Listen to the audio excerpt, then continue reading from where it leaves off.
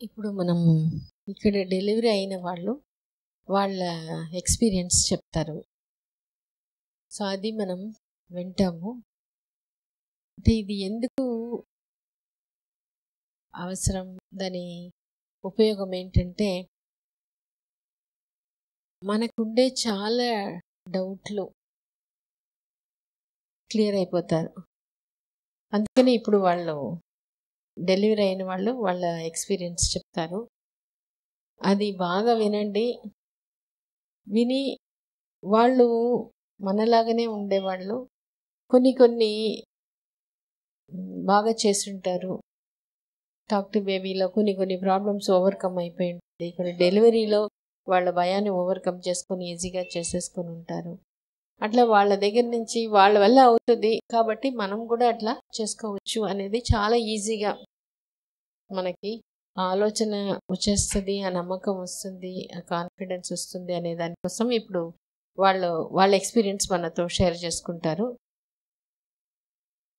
నా పేరు అనుష. నేను ఇక్కడ July twenty eighth July twenty eighth ఇక్కడ నార్మల్ డెలివరీ చేసుకున్నాను. నాకు బాబు పుట్టాడు. నేను హైదరాబాద్లో ఉంటాను. నేను హైదరాబాద్లోనే చూపించుకునేదాన్ని. ఒక సెవెన్ సెవెన్ మంత్స్ వరకు అక్కడే చూపించుకునేదాన్ని. ఇంక సరే అని చెప్పేసి నాకైతే హైదరాబాద్లో ఉన్నంత వరకు నార్మల్ డెలివరీ అవుతుందన్న హోపే లేదు. ఇంక మమ్మీ వాళ్ళ ఫస్ట్ కాన్పు అనేసరికి మమ్మీ వాళ్ళ దగ్గర చేపించాలని చెప్పేసి ఇంకా మమ్మీ వాళ్ళ దగ్గర అడిగితే తెలిసిన ఆంటీ వాళ్ళ కోడలికి ఇక్కడ డెలివరీ అయింది అనమాట తనకి నార్మల్ డెలివరీ అయింది. ఇంక సరే అని చెప్పేసి మమ్మీ వాళ్ళు ఇక్కడ కనుక్కున్న తర్వాత ఇక్కడ మోస్ట్లీ అన్ని నార్మల్ డెలివరీస్ డెలివరీసే అవుతాయంట మేడం హస్తవాసి కూడా చాలా మంచిది అని చెప్పేసి అని అన్నారు ఇంక సరే అని చెప్పేసి ఒక హోప్ అయితే వచ్చింది. నార్మల్ డెలివరీ మేబీ అవ్వచ్చు లేదు అది తర్వాత విషయం. మోస్ట్లీ అవుతున్నాయి కదా అని చెప్పేసి అనేసరికి ఒక చిన్న హోప్ అనమాట నాకు కూడా అవుతుందో అవుతుందేమోనన్న ఇది. ఇంక దాని తర్వాత నేను ఇక్కడ సెవెంత్ మంత్కి వచ్చాను. అంతకుముందు అంతా రాలేదు. జస్ట్ సెవెంత్ మంత్ వచ్చి కన్సల్ట్ అయ్యి వెళ్ళిపోయాను అనమాట మళ్ళీ ఇంకా దాని తర్వాత నైన్త్ మంత్లో వచ్చాను నేను ఇక్కడికి. నైన్త్ మంత్లో వచ్చినప్పుడు స్కాన్ తీశారనమాట అప్పుడు baby two point eight kgs ఉన్నింది. మేడం వాళ్ళు అన్నారు two point eight three mostly అంతే ఉండాలి.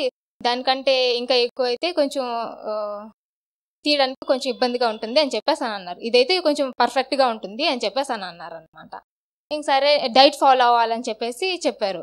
సెవెంత్ మంత్లో వచ్చినప్పుడు breathing exercise talk to baby ఇంకా డైట్ ఫాలో అవ్వమని చెప్పి అన్నారు అప్పుడు స్టార్టింగ్ వచ్చినప్పుడు ఇవే నేర్పించారు అనమాట బ్రీతింగ్ ఎక్సర్సైజ్ వచ్చేసి ఒక ఫిఫ్టీన్ మినిట్స్ చేయండి ఒక్కొక్కటి త్రీ బ్రీతింగ్ ఎక్సర్సైజ్ చెప్పారు ఒక్కొక్కటి ఫిఫ్టీన్ మినిట్స్ చేయండి అలాగా ఫార్టీ ఫైవ్ మినిట్స్ అయిపోతుంది అనమాట వాకింగ్ చెప్పారు ఎర్లీ మార్నింగ్ లే లేచిన వెంటనే చేయండి లేసిన వెంటనే చేస్తే బద్ధకం కూడా పోతుంది అని చెప్పేసి అన్నారు. నాకు స్టార్టింగ్లో బాగా కోపం ఎక్కువ ఉండేది.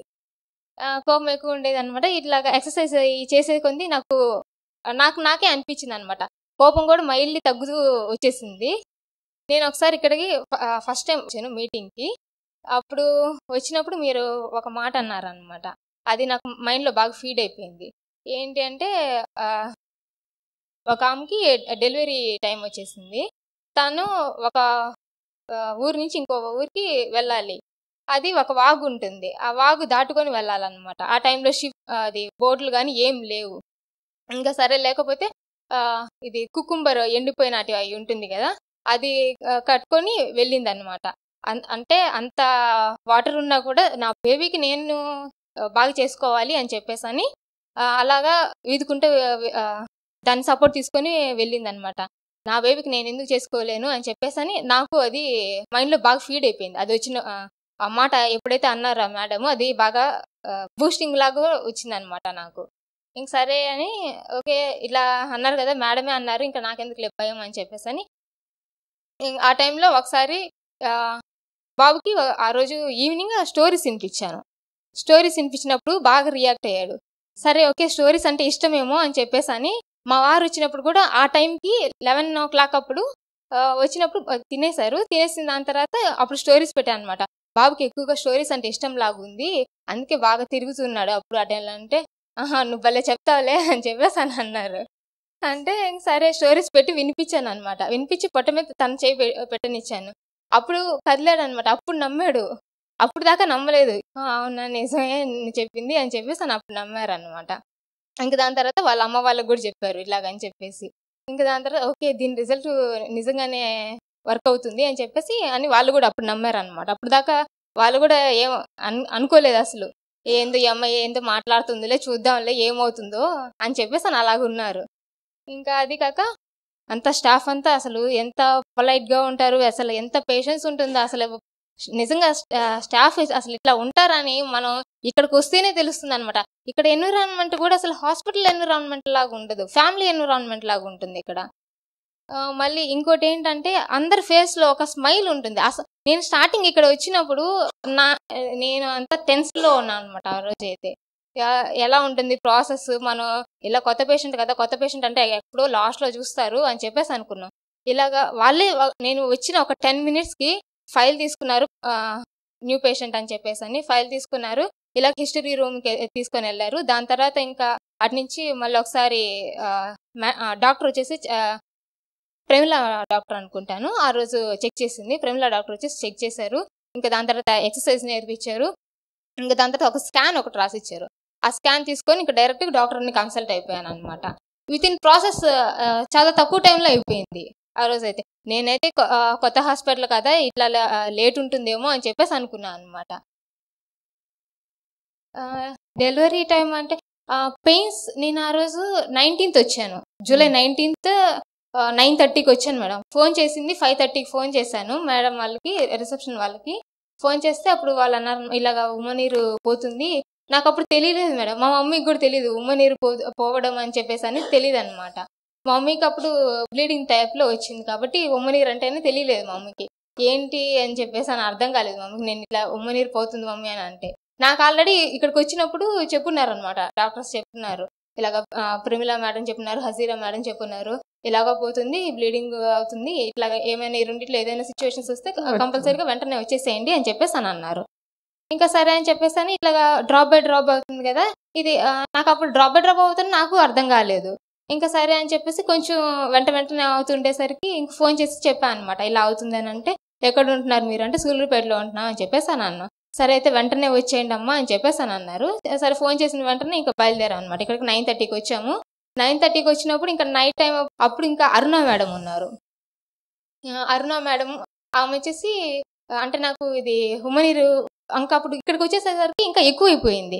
ఎక్కువైపోయేసరికి అమ్మో ఏమైపోతుందో ఏమో అసలే మా బంధువుల ఒకరికి ఉమ్మనీరు తక్కువైందని చెప్పేసి అని సిజరిన్ చేశారు. నాకు అలా అయిపోతుందేమో అని చెప్పేసి అనుకున్నాను. ఇంకా సరే అని చెప్పేసి ఇలాగా అరుణ మేడం వచ్చేసి "ఆ, ఏం కాదమ్మా మొత్తం ఇట్లాగా ఉమ్మనీరు అనేది నాలుగు ప్యాకెట్స్ ఉంటాయి. అందులో ఒక ప్యాకెట్ ఇప్పుడు రిలీజ్ అయి ఉంటుంది.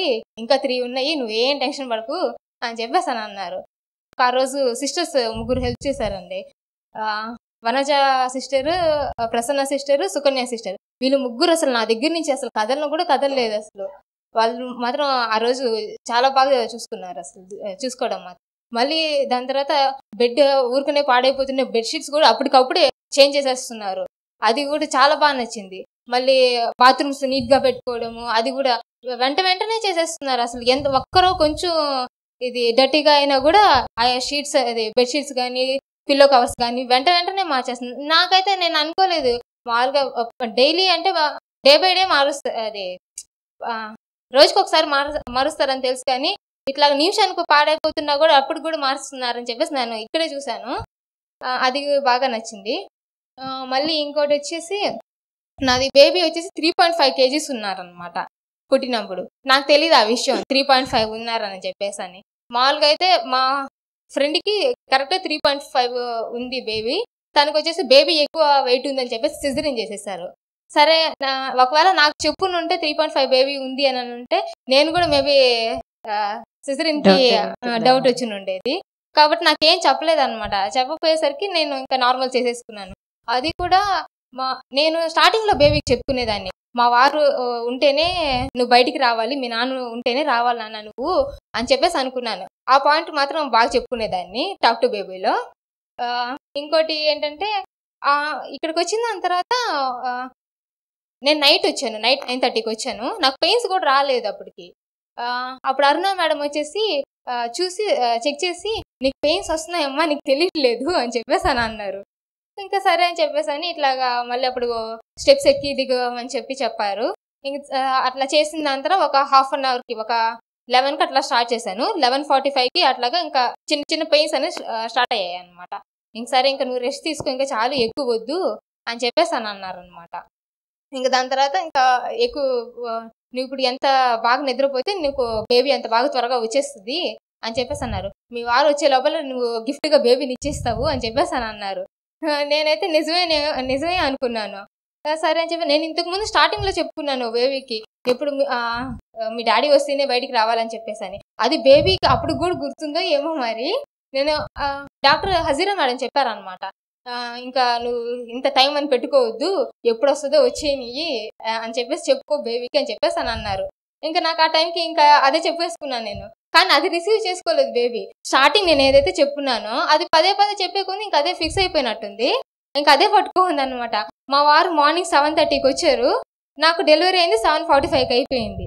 నేను అంటే ఇక్కడ యూట్యూబ్లో చూస్తున్నాను ఇట్లా చూసినప్పుడు కొంతమంది చెప్పారనమాట మా వారు వస్తేనే ఇట్లా డెలివరీ అయింది అని చెప్పేసి అని అది నేను అప్పుడు అంత పట్టించుకోలేదు. ఆ, నిజమేనా ఇట్లా తీసుకుంటారో ఏమో అని చెప్పేసి నాకు అప్పుడు అనిపించింది. ఏదైనా మనకి ఎక్స్పీరియన్స్ అయితే కానీ మన దాకా చేరదనమాట కొన్ని. పెయిన్స్ ఎక్కువ అనిపించిందా? పెయిన్స్ అంటే నాకు ఆపరేషన్ థియేటర్ తీసుకెళ్ళినప్పుడు ఒక few seconds madam. Few seconds తీసుకెళ్ళినట్టు అనిపించిందే కానీ ఎక్కువసేపు ఉన్నట్టయితే నాకేం అనిపించలేదు. అది కాక ఇంజెక్షన్స్ అవన్నీ ఇచ్చేస్తున్నారు కాబట్టి నాకు ఏం తెలియలేదు అసలు. ఇక్కడికి వచ్చిన దాని తర్వాత కూడా ఇక్కడ అన్ని పాజిటివ్ గానే చెప్తున్నారు కానీ ఒక్కటి కూడా నెగిటివ్ కింద ఏం చెప్పట్లేదు అది బాగుంది. ఓకే చాలా థ్యాంక్స్ అంతే